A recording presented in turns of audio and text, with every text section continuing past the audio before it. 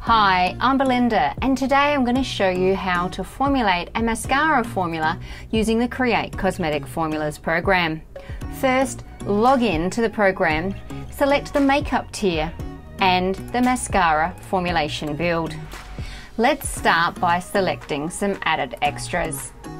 And in this formula, I'm just going to use some arnica extract because it's noted to be useful for sensitive skin. So it's around the delicate eye area. I'm going to input this at 1%. Next, I'm going to add a natural chelating agent. And I'm going to leave this at the minimum input. I'm then going to select my humectant. I'm going to use glycerin in this formula. And I'm going to input this at 2.5%. Now I can pick my gum and thickener. This is to help stabilise the pigment in the formula and get the right consistency. I'm going to use xanthan gum at 0.3%. Now I'm going to select my anionic emulsifier to help stabilise my formula. I'm only going to use a small amount because I'll build a lot of viscosity and stability with some other ingredient selections. And for my non-ionic emulsifier, I'm going to be picking Olivem 1000. Now I want to make a nice waterproof mascara. So I'm going to select Oleocraft MP32. And I'm going to input this at the maximum recommended input to get good water resistance. Now I'm going to pick my lipids and this just helps give a nice spread and consistency to the formula. I'm going to pick some apricot kernel oil and some caprylic capric triglycerides. Next I'm going to pick my consistency factor and this just helps make a nice mascara paste form so it's fast drying and applies easily to my lashes. I'm going to use some hydrogenated vegetable oil.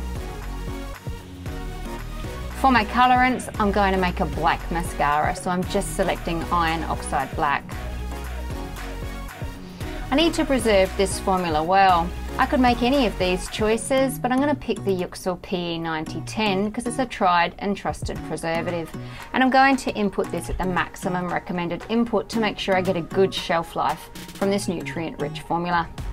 Finally, I'm going to add some antioxidants.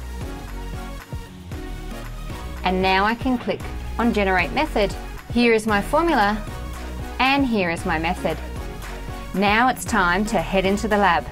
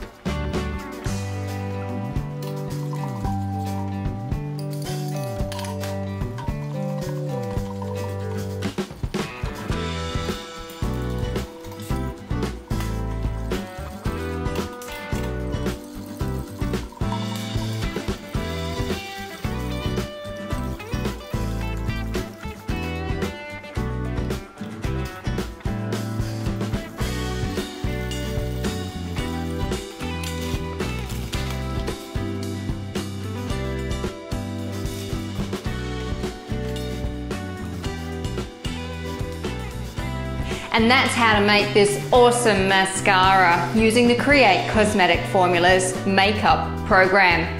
If you enjoyed this video, please give it a thumbs up. Please leave any questions or comments below and make sure you subscribe to createcosmeticformulas.com so you can get making your own mascara.